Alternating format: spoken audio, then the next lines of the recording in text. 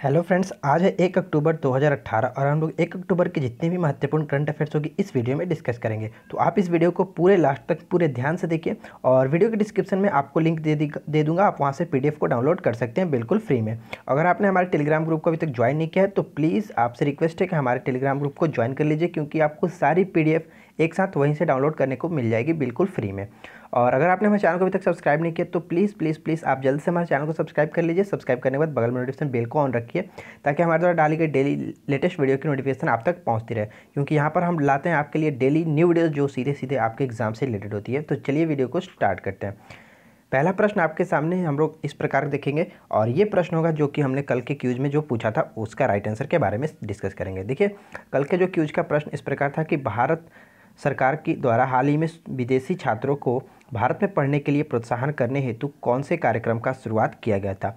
तो देखिए, इसका राइट आंसर क्या होगा? ये हमने कल पूछा था आपके क्यूज़ में। तो देखिए, इसका राइट आंसर होगा कि ऑप्शन डी यानी कि स्टडी इन इंडिया नामक कार्यक्रम को लॉन्च किया गया था, जिसका मकसद था कि विदेशी छात्रों को भारत में पढ़ने के लिए प्रोत्साहित करना, ठीक है? जो कि भारत सरकार के द्वारा एक बहुत ही अच्छी पहल थी। तो ये आपको अच्छे से याद होना चाहिए, क्योंकि बहुत बहुत ही इंपॉर्टेंट प्रश्न का ये बन जाता है। चलिए देखते हैं, आज के जितने भी करंट अफेयर्स हैं, उसको देख लेते हैं। देखिए, सबसे पहला प्रश्न आपका ये बनता है कि इंडोनेशिया में हाल ही में आए भयंकर भूकंप और सुनामी में काफ़ी जान माल का नुकसान हुआ है। इस सुनामी से सबसे ज़्यादा प्रभावित जो द्वीप हुआ है, उसका नाम क्या है? तो इसका राइट आंसर होगा ऑप्शन बी यानी कि सुलावेसी जो द्वीप है इंडोनेशिया के, वहाँ पर जो इस द्वीप पर सबसे ज़्यादा जानमाल का खतरा और नुकसान हुआ है, ठीक है? इस द्वीप के जो पालू शहर है, उसमें भयंकर भूकंप और सुनामी आया है।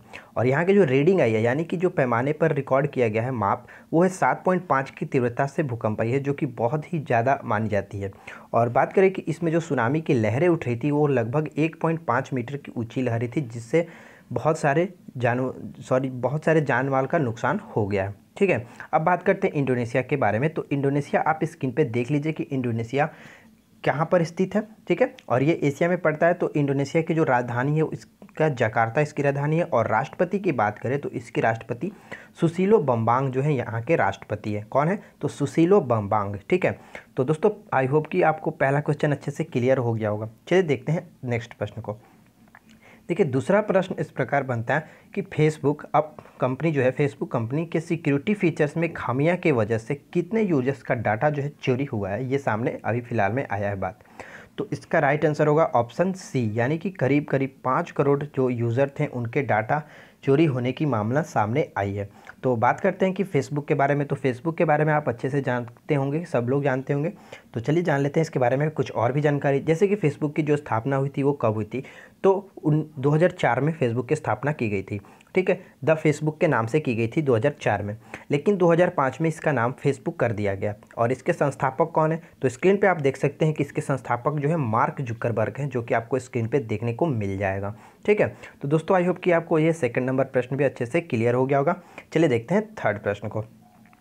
देखिए, आज का थर्ड प्रश्न इस प्रकार है कि पंडित तुलसीदास बोरकर। नाम याद रखना आपको, पंडित तुलसीदास बोरकर का हाल ही में निधन हो गया।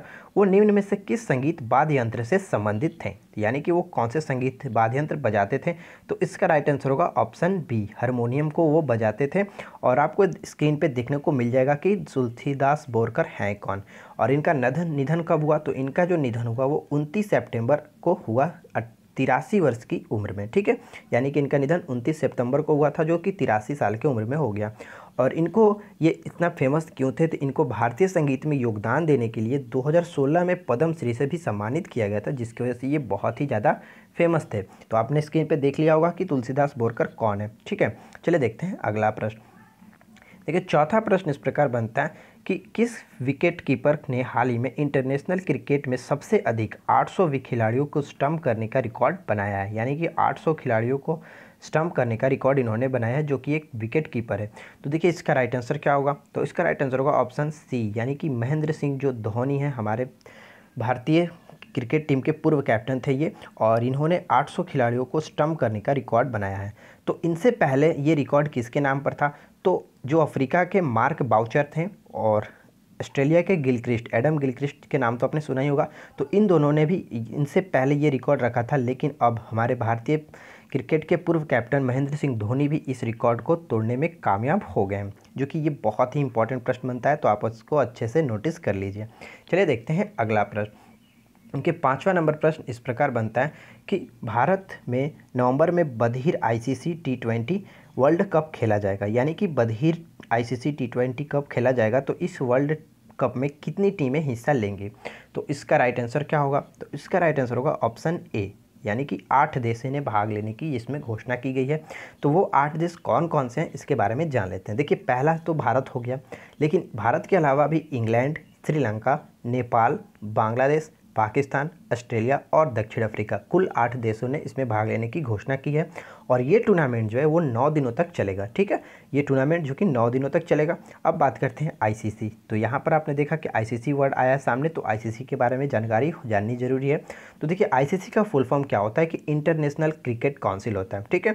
इसकी स्थापना कब की गई थी ये भी पूछा जाता है। तो इसकी स्थापना हुई थी पंद्रह जून उन्नीस सौ नौ ईस्वी को और इसके वर्तमान में चेयरमैन कौन है? तो शशांक मनोहर, वर्तमान में इसके चेयरमैन है, जो कि आपको स्क्रीन पे देखने को इनको मिल जाएगा कि शशांक मनोहर कौन है, ठीक है? तो आई होप कि आपको पांचवा क्वेश्चन भी अच्छे से क्लियर हो गया होगा।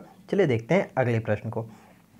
देखिए, छठा नंबर प्रश्न ये बनता है कि किस देश के राष्ट्रपति चार अक्टूबर को, ठीक है, चार अक्टूबर को दो दिवसीय दौरे पर भारत आएँगे? तो ये होगा राइट आंसर ऑप्शन ए यानी कि रूस के जो राष्ट्रपति हैं वो भारत के चार दिवसीय दौरे सॉरी चार अक्टूबर को दो दिवसीय दौरे पर आएँगे। तो बात होती है कि रूस के राष्ट्रपति का नाम क्या है? तो रूस के जो राष्ट्रपति हैं, वो व्लादिमीर पुतिन है, जो कि आपको स्क्रीन पे दिख रहा होगा। ठीक है? और ये जो रूसी राष्ट्रपति व्लादिमीर पुतिन है, वो भारत के दौरे पर चार अक्टूबर को आएँगे और दो दिवसीय इनकी यात्रा होगी। और इस यात्रा में पीएम मोदी और राष्ट्रपति रामनाथ कोविंद जी से मुलाकात करेंगे, जो कि ये बहुत अच्छा प्रश्न बनता है। तो आपको यहाँ पर बस ये ध्यान रखना है कि रूस के राष्ट्रपति का नाम क्या है? तो रूस के राष्ट्रपति का नाम क्या है? हमने बताया, व्लादिमीर पुतिन। ठीक है? चलिए देखते हैं अगला प्रश्न। देखिए, सातवां नंबर प्रश्न ये बनता है कि भारत में नकली दवाओं की बढ़ती समस्या से लड़ने के लिए नीति आयोग और तकनीकी फार्म ने एक अभिलाषा पत्र पर हस्ताक्षर किए हैं। इस फर्म का नाम क्या है? तो देखिए, इस फर्म का नाम जो है वो राइट आंसर होगा इसका डी ओरेकल इसका नाम दिया गया है, ठीक है? तो यानी कि ओरेकल और नीति आयोग जो है, एक दोनों एक दूसरे से हस्ताक्षर किए हैं किसके लिए? तो भारत में जो नकली दवाओं की जो बढ़ती समस्या है, इसको निजान, निजात करने के लिए, ठीक है? तो ये बहुत अच्छा प्रश्न बनता है तो आप इसको अच्छे से देख लीजिएगा। अब यहाँ बात आ रही है नीति आयोग तो नीति आयोग के बारे में हम लोगों ने बहुत बार चर्चा किया है आई होप कि आपको अच्छे से याद भी हो गया होगा नीति आयोग में। तो चलिए हमारे साथ स्टार्ट कीजिए। नीति आयोग की जो स्थापना हुई थी, वो कब हुई थी? तो एक जून सॉरी एक जनवरी 2015 को इसकी स्थापना की गई थी। और नीति आयोग का फुल फॉर्म क्या होता है? यानी कि नीति का फुल फॉर्म क्या होता है? एन आई टी आई नीति का फुल फॉर्म क्या होता है? तो national institutional transforming of India और ये किसके स्थान पर आया था? तो योजना आयोग के स्थान पर आया था, जो कि एक जनवरी 2015 को योजना आयोग का नाम बदलकर नीति आयोग कर दिया गया। तो बात आती है योजना आयोग। तो योजना आयोग की स्थापना कब हुई थी? तो पंद्रह मार्च दो सॉरी पंद्रह मार्च उन्नीस सौ पचास ईस्वी को योजना आयोग की स्थापना हुई थी। तो योजना जो आयोग थी, उसके अध्यक्ष कौन होते थे? तो योजना आयोग के जो अध्यक्ष होते थे, वो प्रधानमंत्री होते थे तो नीति आयोग के भी अध्यक्ष प्रधानमंत्री होंगे। और उपाध्यक्ष की बात करें तो नीति आयोग के उपाध्यक्ष फ़िलहाल में कौन है? तो राजीव कुमार उपाध्यक्ष हैं, और सीईओ की बात करें तो यानी कि नीति आयोग के सीईओ वर्तमान में कौन है? तो अमिताभ कांत, यहाँ के सीईओ तो आई होप कि आपको ये अच्छे से एकदम क्लियर हो गई होगी। देखिए, जब भी वर्ड कोई रिपीट हो तो आप उसके बारे में पुरानी चीज़ें हमेशा याद कीजिए, ताकि ये कभी कन्फ्यूज़ में ना हो और आप कभी भूल भी ना पाएँ। ठीक है? अगला प्रश्न देखते हैं। देखिए, आठ, आठवां नंबर प्रश्न ये बनता है कि उनतीस सितंबर को पूरे विश्व भर में वर्ल्ड हार्ट डे यानी कि विश्व हृदय दिवस मनाया गया और इस दिवस का प्रबंधक कौन करता है? ठीक है तो इसका देखिए राइट आंसर क्या होगा? ऑप्शन बी यानी कि वर्ल्ड हार्ट फेडरेशन जो है इसका प्रबंधन करता है और प्रत्येक वर्ष वर्ल्ड हार्ट डे उनतीस सितंबर को मनाया जाता है और इसकी स्थापना कब हुई थी? यानी कि वर्ल्ड हार्ट फेडरेशन की स्थापना कब हुई थी? तो ये 1970 ईस्वी को की गई थी। और इसका मुख्यालय कहाँ पर है? तो इसका मुख्यालय है आपका जिनेवा, स्विट्जरलैंड के जिनेवा में, ठीक है? अब यहाँ बात आती है world heart day. World heart day कब से मनाना स्टार्ट किया गया? तो इसकी स्थापना जो है दो हज़ार से की गई कि प्रत्येक वर्ष दो हज़ार से स्टार्ट की गई। इसकी स्थापना यानी कि 2000 ईस्वी से प्रत्येक वर्ष 29 सितंबर को वर्ल्ड हार्ट डे मनाने की शुरुआत की गई, जो कि बहुत अच्छा प्रश्न बनता है। चलिए देखते हैं अगला प्रश्न। देखिए नेक्स्ट प्रश्न इस प्रकार है कि किसने महात्मा गांधी के 150वीं जयंती समारोह की शुरुआत के लिए महात्मा गांधी अंतर्राष्ट्रीय स्वच्छता सम्मेलन, ये ध्यान रखना है कि महात्मा गांधी अंतर्राष्ट्रीय स्वच्छता सम्मेलन का उद्घाटन किया है।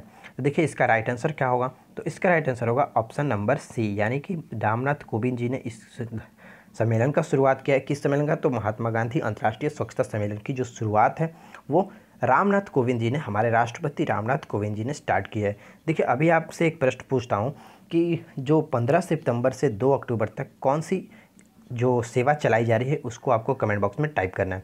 ठीक है तो जल्दी से कमेंट बॉक्स में टाइप कीजिए। चलिए देखते हैं आज के क्यूज का प्रश्न आप सभी के लिए मैं इस प्रकार लेकर आया हूँ।